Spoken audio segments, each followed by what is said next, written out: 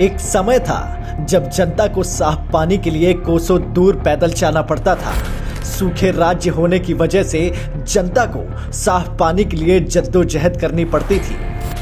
साफ़ पानी की समस्या को पीएम मोदी जी ने जल जीवन मिशन की शुरुआत कर दूर किया।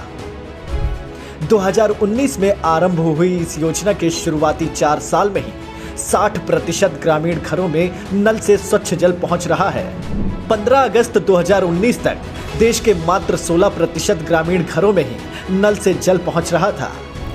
जल जीवन मिशन की शुरुआत होने के बाद से 11 करोड़ छियासठ लाख ग्रामीण परिवारों के घर नल कनेक्शन लग चुके हैं। इस मिशन को लेकर भाजपा सरकार कितनी गंभीर है।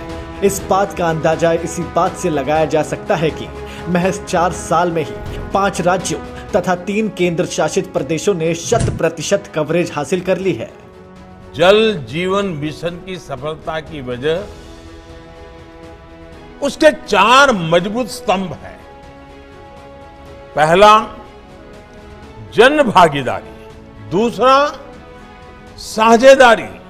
तीसरा राजनीतिक इच्छा शक्ति और चौथा संसाधनों का पूरा इस्तेमाल।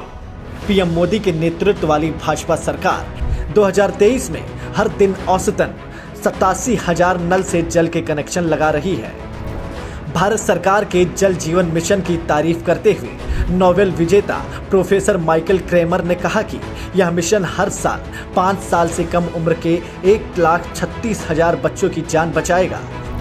पीएम मोदी के नेतृत्व वाली भाजपा सरकार न सिर्फ़ बच्चों की जान बचा रही है, बल्कि जनता की बुनियादी मांगों को भी पूरा कर रही है। वो मांगे जो आज से 40 साल पहले पूरी हो जानी चाहिए थी।